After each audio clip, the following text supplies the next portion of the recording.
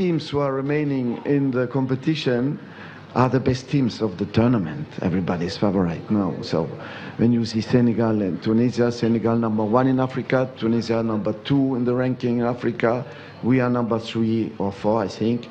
So we are all here. Algeria is coming, playing so well.